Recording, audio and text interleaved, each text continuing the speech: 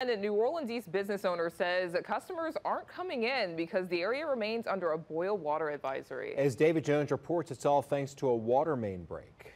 New Orleans East, we already are up against so many challenges. The last thing that we need is for our water to have a boil water advisory to be getting cut off. New Orleans East residents have faced not one, not two, but three boil water advisories just in the past month.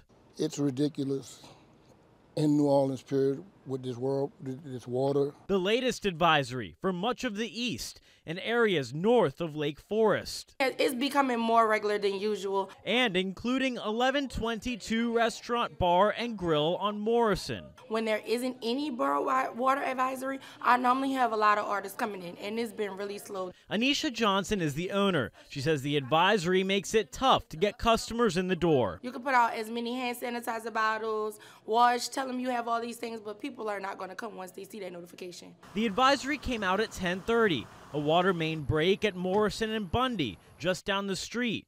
Sewage and Water Board reported the contractor had it repaired by 1:30, but the damage had been done. Dealing with Sewage and Water Board and the boil water advisories, water being cut off, it's just not fair. We lose out, we don't get any compensation for losing customers. Like today, for example, we're gonna lose out on a lot of people coming out until they send out a text message saying that it's okay to use the water. So we don't get compensated from the state, the city, anything. It's always in New Orleans that we have a boil water advisor.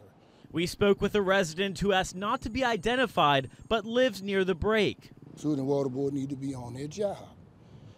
They're not coming out here. They have contractors, but they're not coming out here and supervising the contractors to make sure they're doing what they need to do. All the other business owners around here too, they don't get to open, even if it has to do with hair, like we're losing out on a lot of money in New Orleans East.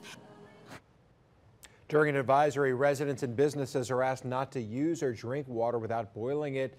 That means no baths, no doing laundry or cooking without boiling water.